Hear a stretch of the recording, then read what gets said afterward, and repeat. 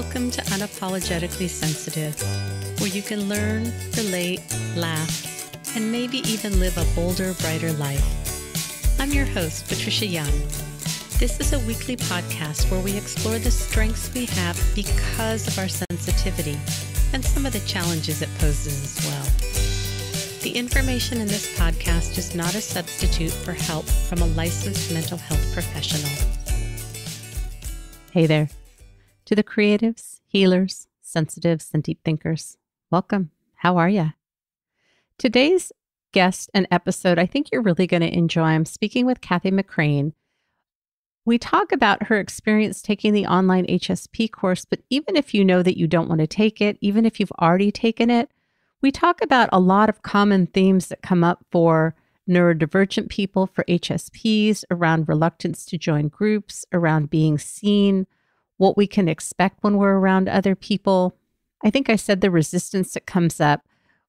We talk about Often we have negative thoughts or feelings before we do something, the things that prevent us from expanding in our life, ways that we can work with those automatic negative thoughts and looking at the possibilities. I don't know. I think even if you know that you don't want to take the course or you've taken it, I think there's some good stuff in here, but I'm going to let you decide about that.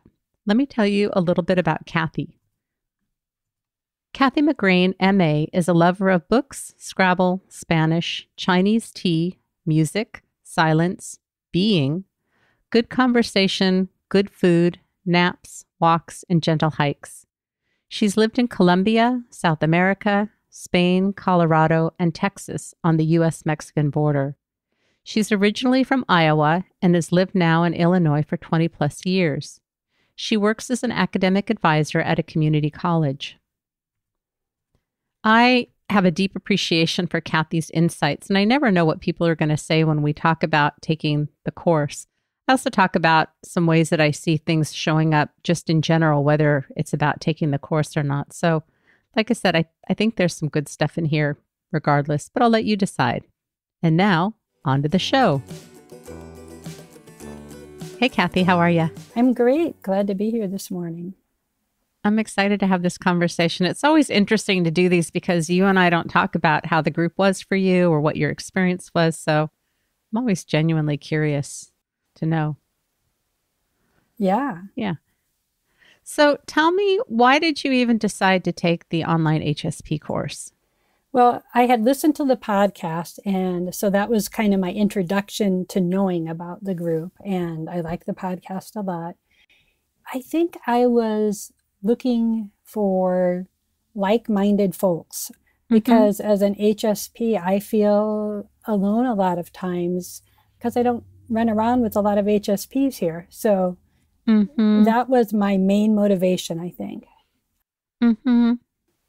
And then you signed up for the course and then let me know that you probably weren't going to be taking the course. Right. Right. And I don't remember I think that was due to some some of my family circumstances and things like mm-hmm. that, and I just wasn't sure if it was going to be a good time. And then it ended up working out, which was great. Right, right. What were you hoping to get from the group? I hear that you wanted to be with other HSPs. Was there anything else that you were hoping for? Well, I think wanting to be with HSPs wasn't just a social type of gathering. I, I was wanting I think to deepen my comfort as an HSP, having heard the podcast and feeling more comfortable and confident mm-hmm. in who I am, I think learning how to be in the world as an HSP, even though obviously I've been doing it for a long time, learning sure learning how to do that in ways that are kinder to myself and more supportive of myself. Oh, I love that. Were there any fears or concerns that you had before starting the group or maybe the first group? What was coming up for you? Anything? Yeah, I think my fears were that that I wouldn't like people in the group, that that we mm-hmm. wouldn't get along, that I would be odd woman out. Mm -hmm. Yeah, who hasn't experienced yeah, that? and that I mean honestly that I was spending a chunk of change on this and was it going to be a good experience so sure sure I think all those things are natural. And I'm very reluctant to join groups for that same reason. Are they going to get me? Is the facilitator going to get me? I mean, if you've listened to earlier episodes, I was in a mastermind and I was ejected from the group from sharing a concern. I've had lots of experiences where I feel like, boy, that was a mistake. And so I'm very reluctant to join groups so I can understand if somebody's thinking, like, oh, should I, shouldn't I? That is a hard thing. What was it that helped you move beyond that fear? I think it was the possibility of what could happen. Mm-hmm. And mm-hmm. that if nothing else, it would be a learning experience for me. Mm-hmm. And I trusted that the content of the videos, etc., would be good. Having listened to you and Jen, I was, I knew that would be good. So yeah, mm-hmm. I just, I decided to go for it. Yeah. I often find myself that if I'm having fears about something like, oh, what if I don't fit in? What if I don't belong? What if they don't get me? I often have to go like, what if it works? What if I find people that I like? What if it ends up being the best thing in the world? I'm not saying that it will be, but I often have to challenge those. I think just the way that our brains are wired, we tend to go to that most fearful, most protective space. It makes us great troubleshooters, problem solvers, forecasters, but it often is not super helpful in helping us expand our lives because of that automatic protective nature. That's a really good way to reframe it, isn't it? Thinking about mm-hmm. what if things do go right? What if this is wonderful? Because my brain doesn't go there automatically. So I appreciate that reminder this morning. That's great. Sure. Well, it's interesting. I was just, I think I was talking to Jen yesterday that we can't get an episode by without me talking about my kayak. And so it's summertime again, although it's gloomy here. We're doing skills practice and rolling again. And we had skills practice Saturday. And Pat, whom, if you're a longtime listener, you know I adore Pat. He's in his 70s, he's just the most kindest, loving, gentlest, patient person. And he said, Are you going to skills? We had a text exchange. And I'm like, I don't know. I don't want to get my hair wet. The water's still cold. It's overcast. And I decided to go, but was very reluctant. And he's like, Do you want to do some practice? And I didn't want to. I didn't want to go. I didn't want to practice. And we did. And I really enjoyed it. And I was saying, I just wonder if that's part of how my brain is wired, that it's more common for me to not get excited and to have more resistance about things what I've learned is I just have to show up. Like I have to let the resistance be okay. So I said, I wasn't like, woohoo, I'm all in. But, you know, I allowed myself to have the resistance and to show up. And I brought my equipment and said, I don't have to use the mask and goggles. I don't have to get my hair wet. I don't have to get my head wet. I don't have to do anything. And we did a little bit of skills practice. And again, I, I don't know if that's trauma. I don't know if that's just how we're wired. But if I go based on how I feel about things, I probably would leave the house once every few months and that would be it. And I just know to show up. And if I get there and I don't like it, I can always turn around and leave. And I always have to remind myself that if I go and I don't like it, I don't have to stay. I can leave. I don't have to do anything permanent. But there's, I would honestly say that the majority of my experience is not like I'm so excited and I just can't wait to go and be there. I know. And then it's easy to judge myself because I'm not feeling that excitement or that enthusiasm. And it's like, well, I don't know. Uh, instead of just saying, well, let's give this a try. Right, right. My hope is in sharing that, that that normalizes it for more people because I used to, I want to get back to our questions, but I used to go on vacation and someone very close to me would say, like, I hope you have a magnificent time. I hope it's fabulous. I hope it's amazing. And it made me feel terrible because traveling often brings up anxiety and the uncertainty and all of these unknowns. And so I have a, a close friend who would say, since I don't swear on the podcast, I'm thinking of a rhymey word. She'd say, have a biddy time, but it starts with HS. And I felt like it can't get any worse than that. And so anything that happens is going to be better. So we would joke and say, you know, have a biddy time. Yeah. And that really helped to take that expectation of whatever happens, happens. And I think we often do this thing where probably because we feel things deeply and we think about things deeply and we're have this protective nature that it's not uncommon for us to not be giddy and excited about new things because we've often been othered, we don't fit in. And so, why would I be excited about showing up to a group of people where that may happen again? Yeah. And I'm thinking even about meditation, right? Like if you're meditating or mindfulness, whatever you're doing, that I would meditate sometimes, and my significant other would say, Oh, how was your meditation? Or, Did you have a good meditation today? And I'm like, What's a good meditation? Because I was showing up as who I was. So, yeah, there were things about right. it that were really good, but there were also moments of boredom or discomfort. So, I think we have to remember to embrace all of it. And, and that's not necessarily what we're taught in this society. Right. And I think that's a big part of the group that we talk about.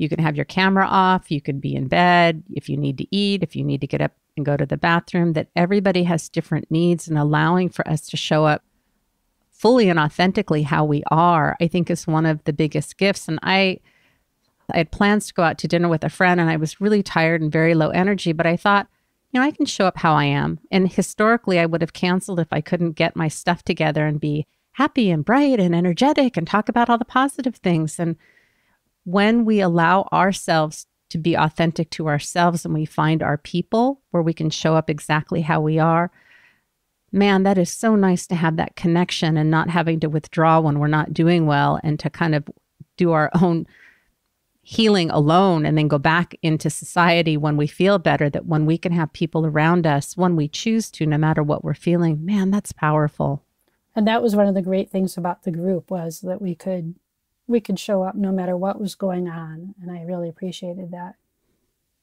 Can you say a little bit more about how that if that was for you or if you saw that with someone else so that listeners kind of get a sense of like hmm what does she mean by that? Well i think for myself i think i have fibromyalgia and so there are times after work especially when i'm tired or my body is hurting or there's been just a lot going on and I'm not in a great place. And just to be able to talk about that and not feel like I have to hide what's going on, mm-hmm. to be be there and be cheerful and act like, oh, nothing's going on. I think that was wonderful. And I think our group, one of the things I really appreciate about our group is that we're there for each other no matter what's going on with somebody. So I felt not only by you, but by others seen and heard, and I felt compassion. And mm-hmm. so it mm-hmm. was really kind of a sweet space. Have you experienced that before in your life, having people being able to really be present for you when you're struggling, especially having that comorbidity of fibro? I have a close friend who lives halfway across the country and, and a couple of other people, but to experience that in a group I have not. That was something mm. new. I was trying to think this morning, when did your group officially end? Do you recall? Was it the beginning of May? No, or was that the no, was it April and then we extended into May? I I don't remember. I think you're right. I think it was April that we ended and then your group chose to extend 5 weeks, but there were 2 weeks in there where we didn't meet, so we went through part of June and then yeah. had our last group meeting. Yeah.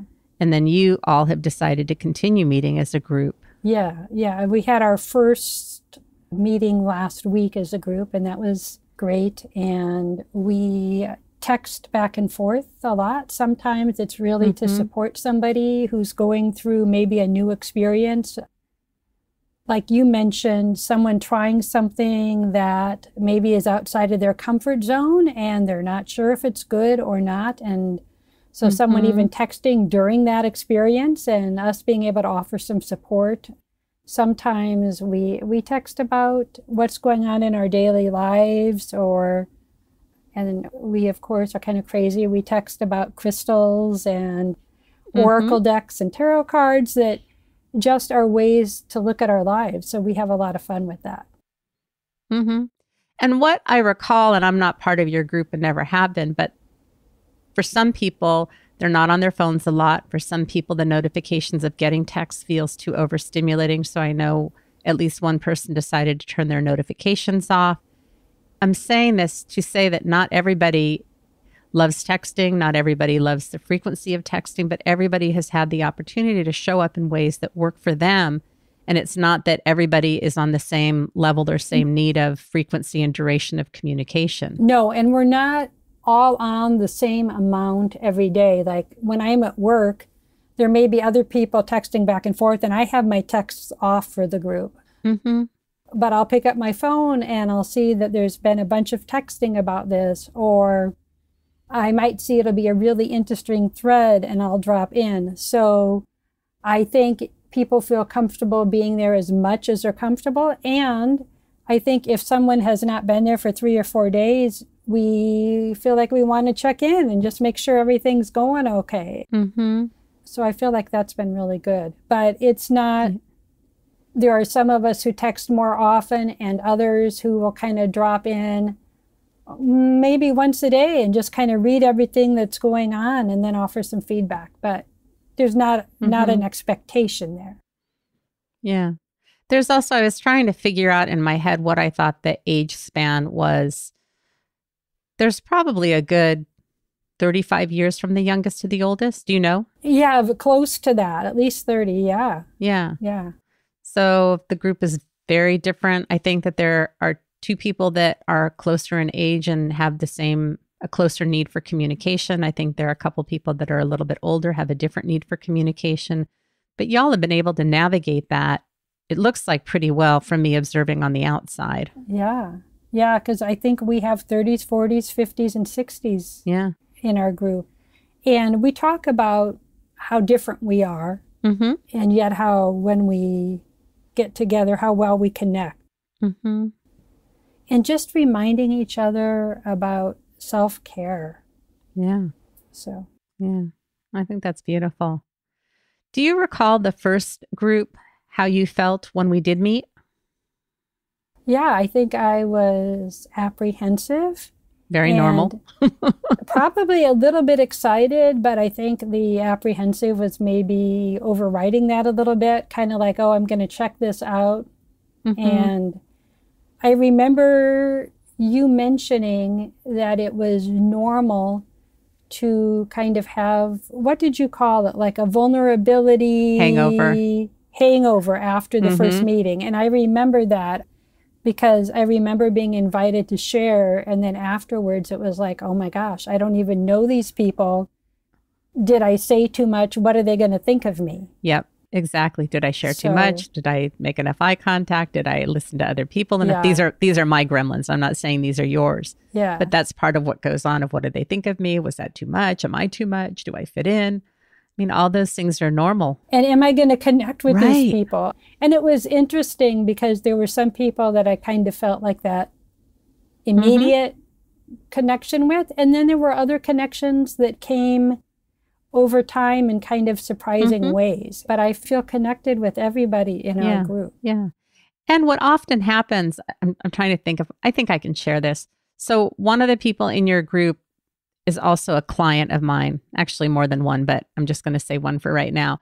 And in our private sessions, often things would come up for this person in group that had nothing to do with the group member, nothing to do with the group member. They're dynamics. And what we don't heal, we bring to situations. And the gift is that it had nothing to do with the group member, but because we were working together and this person recognized that, they recognized that their feelings and responses, like, this kind of seems weird.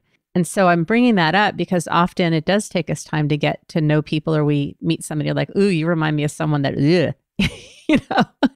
and then if we stay open and yeah. get to see like, oh, this is not that, that can make a difference. Yeah.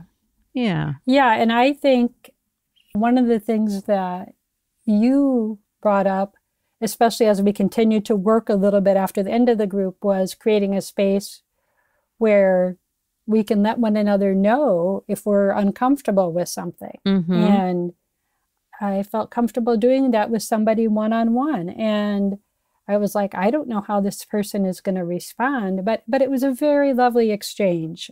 Mm. So I yeah, I felt heard and received and was reminded what a lovely person this this person is. So so I appreciate that. Oh, that excites me when I hear that. That Although we do work on communication in the group because your group did extend, we talked about what are the challenges that come up. And what I've seen come up with groups that extend without having facilitation is little things start to rub people the wrong way and they don't have a way to talk about it and the dynamic can get out of balance. I'm not saying it happens for every group. This is just my observation. And so to hear that you were able to take that and have enough trust in the relationship and your ability to communicate and have what could have been a scary discussion with someone to go like, ah, oh, this works. When we are dealing with Yeah. people that have skill sets and want to have intimacy and we take that risk, then there's al- almost just like, oh, I can do this. Yeah. Yeah. And that felt really good. Yeah. Oh, that's so exciting to hear. Have you been in other groups before and how did this group compare to other groups? I, I know that there's not another group like this, but just in general, is that, can you speak to that? I don't know if I have been on other groups online that have been this interactive. Mm-hmm. I think I have done other things online. I've taken some meditation type things Mm-hmm. with Tara Brach, who I like a lot. Mm, And.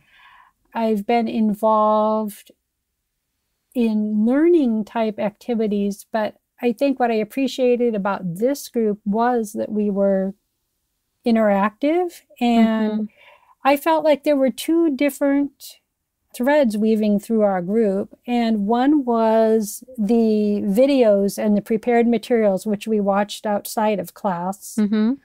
which I loved. And then the other was the actual process we had as a group. And I feel like the process is what was different about this from other experiences. Because we would talk about what we had learned in the video sometimes, but we would also talk about whatever was up for one another. And so I think Right. having that facilitated process was very valuable. I think group work can be really tricky. I'm having a gremlin, but I'm going to say what I'm going to say anyways. If you don't have a facilitator that knows how to manage groups and hasn't worked on their own stuff, and being able to have people talk about what's going on in the moment. And at the first group, we talk about how do you want this group to go? And do you want to focus strictly on the material? Do you want to bring whatever's going on in your life? My experience is when the group is allowed to bring whatever they want to the group, we cover all of the topics. It may not be in the week that we're talking about it, but like you said, I think we have this need to be seen and heard. And it can really be valuable to have that facilitation so that we can talk about things, but somebody's there to kind of keep the threads together if there are little bumps that come up to show what the biases are. Because we did have a couple of, in my mind, I don't know that I would call them hiccups, but some people had some things going on that either could have been, I'm struggling with my language because I'm imagining like this person listening and feeling like it's judgmental. Just allowing everybody to be where they were at and to still have group cohesion and honoring that people were in a different place and that there was room for everybody to show up how they needed to show up. Yeah, I think having a facilitator made it a safe place initially while we were still getting to know each other. Sure.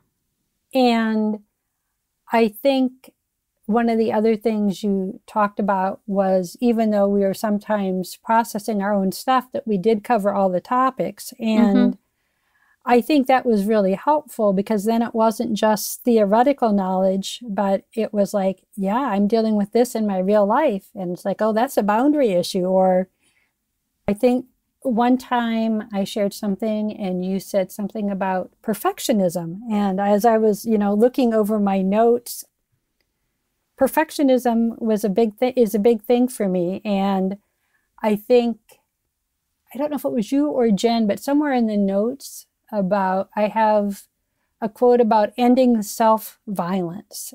That's Jen. I think the tendency to be violent against ourselves and our thoughts, not in Mhm. actions, but with the inner critic is really strong. Mm-hmm. And I would never have thought of that as self violence. I would have just thought of that as, oh, get it, keeping myself motivated. And Right. so I think that was a really helpful thing to keep in mind. And I keep coming back to that. So, Yeah. And that can look like, I can't believe I did that. Why wasn't I thinking? Ah, I should have remembered. I can't, can't believe I forgot that. I don't, I, why did I say that? Those are all self violent thoughts as opposed to, ooh, or yeah, or sitting in my chair relaxing and thinking, get up, you lazy person. You need to go Mhm. do this right now, clean or do whatever when really what my body needs is to relax. Yep. We often have this idea that if we punish ourselves or are mean to ourselves, that's how we motivate ourselves. And this fear of if I allow myself to rest, I'm never going to get anything done. And I've really been struggling with tasks recently. And this morning, I don't know what happened, but I started to take care of things that I haven't been able to do for quite some time. And I've just gotten to the place where I mostly trust. It's hard when things start piling up. There's that part of me that goes like, ugh, what the heck? And when I trust my rhythms, I naturally come back into it. And there's so much less suffering because, you know, I think about being in college and probably how many bags of M&Ms I ate before writing a paper while I was procrastinating and I wasn't the type of person that cleaned the house in the meantime. So I really didn't have a lot to show for you know my fear of not of struggling with transitions and getting things started. Yeah. You know. How was it being in a group with other HSPs? What was unexpected or surprised you? Anything? I think the way we all had such similar experiences, even though we're very different people, Mm-hmm. that I could talk about something, and Patricia, you would say, How many other people have felt X, Y, or Z? And most of us would raise our hands. Mm-hmm. So that felt really affirming to me and surprising that this just wasn't something that was quote unquote wrong with me. And Mhm. maybe that's another important thing about the class is I think so many of us have grown up because we're different from others feeling that there's something wrong with me. Mm-hmm. And I think this was a really good place to begin to challenge that that Mhm. pattern mm-hmm. and and see also what our what our strengths are right Mm-hmm. I think i even felt affirmed in the group i don't think i've talked about this but just sometimes i would notice something going on in somebody else's face or Mhm. other dynamics and i would be able to say hey how are you doing and i could feel the look of relief on that other person's face and so i think that's probably something i do as an academic advisor too but Mm-hmm. but that felt very affirming for me Yeah. Yeah. I'm always surprised at how similar and different HSPs are. That there was that commonality, and you all are very different, have different backgrounds, different ways of showing up. And there's this beauty in finding connection, and there are differences.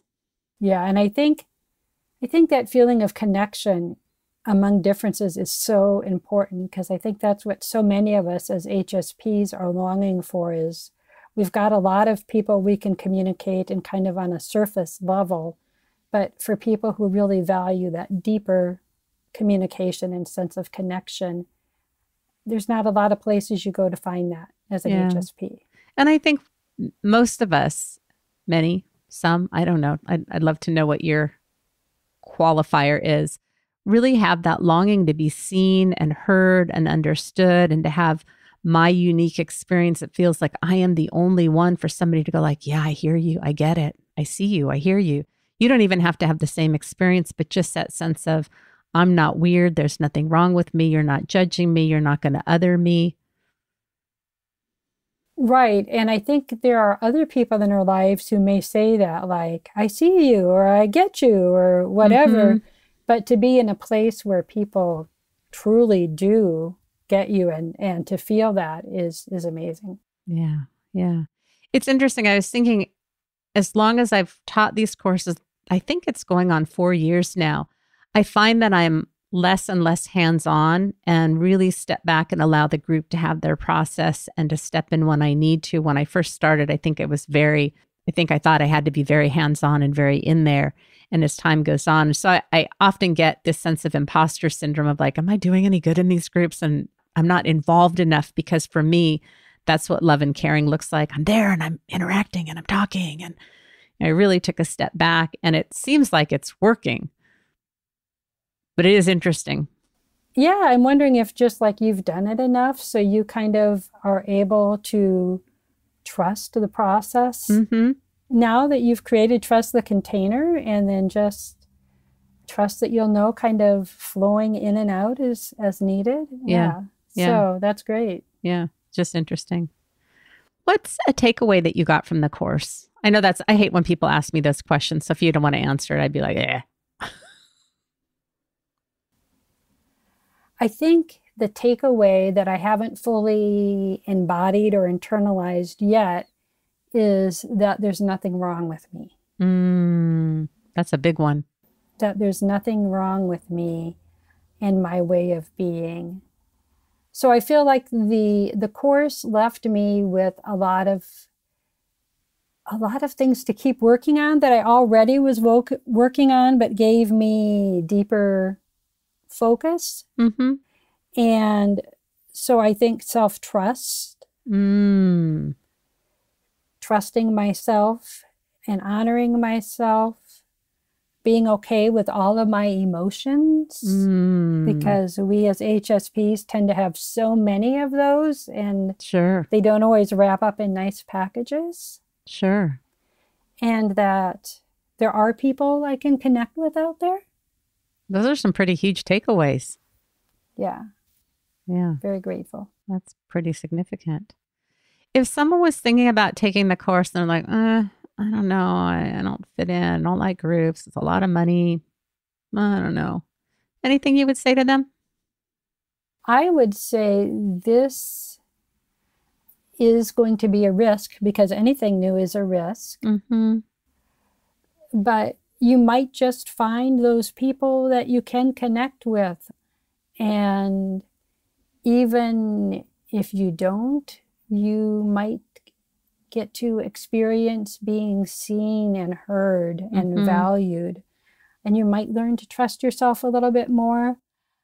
I think for someone who is newer as an HSP, the videos are invaluable. I think for me, as someone who's known she's an HSP, I still have a notebook full of notes to myself based on those videos because they may be things I've heard before, but to actually internalize it and live it is is another experience. It's Mm. kind of like I was looking at Elaine Aron's books this morning Mm-hmm.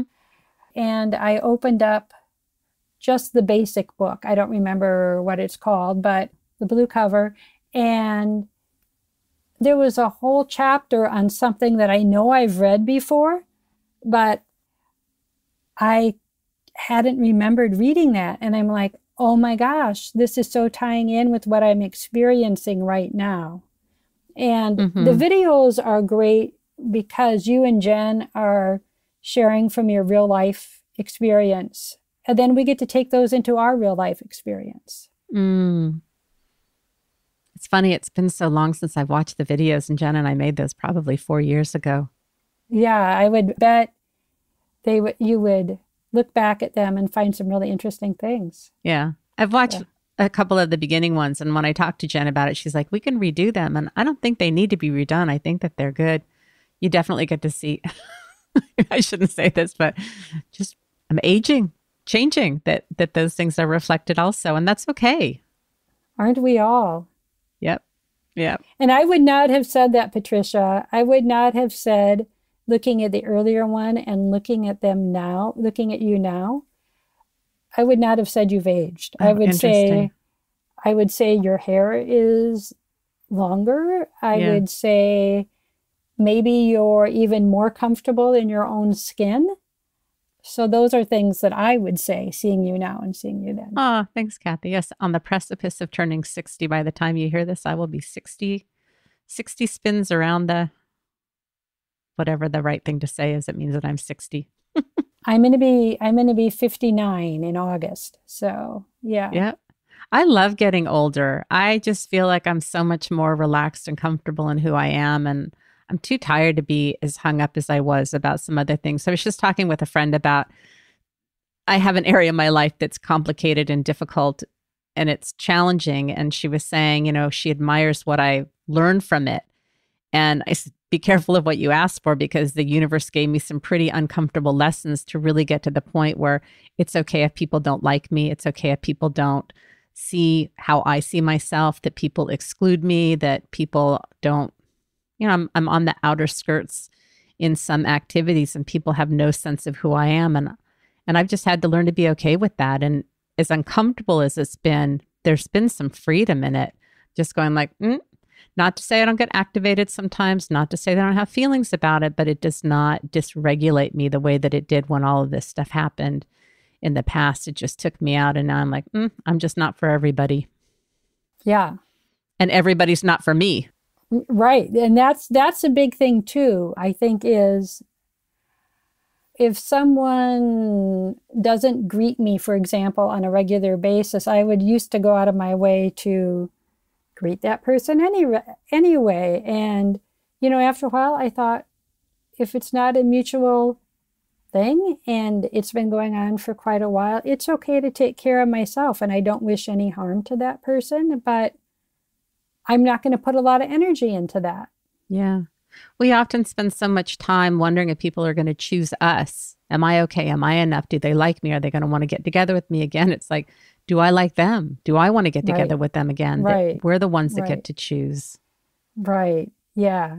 And I, I was thinking specifically about the workplace, but I think there even it's becoming comfortable with who I am and the way I do things and trusting that, that that's okay, even though other people may may look at you and say, Really? And you're like, Yeah. I'm like, Yeah, really. Yeah. Yeah. So, Kathy, without discussing specific content, in the beginning of the course, there were some things that you shared with me privately about yourself that you wanted to share with the group, but were concerned because you may be the only one. So, again, without sharing content, how has that been now that we've gone through the group and some extra time?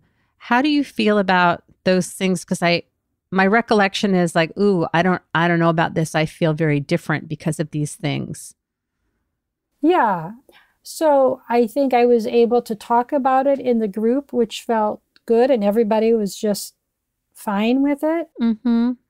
I don't think I've processed it a lot with the group since then, just because it is my experience, which is kind of different. But I think if I needed to, that I that I could, mm-hmm. that I could talk about it. Yeah, yeah, yeah. I think it was a safe place. Good, good. Glad to hear that.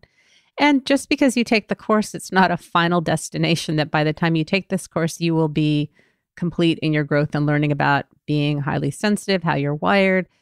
It's a tool for connecting and learning more about yourself. And as Jen and I always say, as long as you're alive, there will be struggles, there will be challenges, there will be joys, there will be times of ease, but it's not like take this course and you will no longer experience blah, blah, blah, because that's just a crock of. Wouldn't that be great, Patricia, if that were it? If it were that I want easy, that. you, you could you could charge a million dollars for that class. No, but I appreciate that about the podcast, right? That I get to see you and Jen in process. Mm-hmm. And I think seeing one another in process is part of what we do in group and Yeah. lets us know we're not alone and lets us know or reminds those of us who are perfectionists that it's okay not to have it all figured out Yeah, yeah, and maybe just being able to come back into the moment, the Yeah. present moment. yeah. Kathy, we need to wrap up. Is there anything that I didn't ask you about or anything that you want to share that we didn't talk about that feels important? No, I think just I'll mention you asked uh, at one point, like, would the videos on their own Mm-hmm. have been as effective as so if someone wanted to just do the videos? And I think the videos are great for learning about being an HSP and giving some very helpful tools. Mm-hmm. And so they were wonderful. I think for somebody just watching the videos, you would miss out on the richness of the group experience and the affirmation of who I am as an A- HSP. And that's what I really valued about the course was Mm. was being able to be a part of that group. I really appreciate you saying that because I had forgotten when I went into live in residential treatment back in my 30s. The biggest thing that I got from that was learning what it was like to live in a functional environment with functional rules and functional adults that taught us how to work out conflict and how to talk about if we had a resident that ended up leaving because they broke the rules that we talked about that in group and it was so helpful to me. And that's one of the reasons that I love doing groups is teaching people. Really, we recreate a family of origin that has healthy functional rules with boundaries and with respect and knowing that it's okay to talk about things and inviting people to share what their perceptions were, where maybe in our family of origins, we're like, we don't talk about that or everything's fine. Where we do talk about things that are going on, or you noticing that something was going on with somebody and making room and space so that we get the experience of what it's like to be in a functional relationship. So we know that that's what we can be expecting outside of the group. And if we've never experienced that before, have had it in very limited ways, it really can model the possibility of what is available that we should be experiencing. Yeah. Yeah. Yeah. Yeah. It's almost like being, not to be too woo woo, but it's almost like being energetically held mm-hmm. while in that space. And Yeah. it's, it's, it's very nice. Yeah. I think everybody wants that to feel like we can show up and be who we are in whatever state and somebody's going to be present for us and hold space for us. I don't think that's woo at all. Yeah. Kathy, thank you so much for being here today. It's it's always exciting to hear what people's perceptions are because we don't really talk about it in group and you've had time to process after group and then we did the after group and then there were a few two weeks in a row where y'all met without me so you had a chance to kind of try it out on your own. I love to hear that things are going well, but it's always interesting to hear your perspective. So thank you for Yeah. sharing. Thanks. This was fun. Yeah. All right. Anything else before we go? No, All right. Thank you, Kathy. Have a great day. thank you. Have a great day. Hey again. So I'm wondering how that was for you. If you are interested in learning more about the online HSP course, the best thing to do is to go to my website at unapologeticallysensitive.com. There's a tab for the HSP groups page. There are tons of episodes of other people that have taken the course. There are one minute clips, there's some video clips. If you scroll down, it talks about each of the modules and the things that we talk about in each module for those of you that love information like I do. In the online HSP course, it's 10 weeks long. We're, I'm going to limit it to eight members, which is a really nice size. I think Kathy's group was smaller, maybe five or six. I've had groups as big as 12. It really works and the dynamic is different. The topics that we cover are mindfulness and self compassion, turning negative messages into strengths, perfectionism, embracing our emotions, self care is non negotiable, boundaries, communication, authenticity, and vulnerability, and creating a lifestyle that honors the HSP. I think these are really powerful groups. You can decide yourself. Brass tacks. The course will start Monday, September 11th, and it's going to go either through November 13th or November 20th. It's 10 weeks, but we may have a week in there.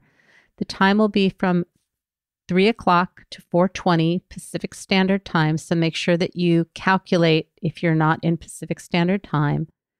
Registration will start august 16th for early bird registration and go to august 22nd and then regular registration will go from august 23rd to august 30th and all the information the pricing is on my website. This is for the year 2023 if you have any questions, feel free to go to my website at unapologeticallysensitive.com. There's a contact sheet that you can fill out that helps me know what time zone you're in and some good times to reach out to you. These groups have been incredibly powerful. I really enjoy running them.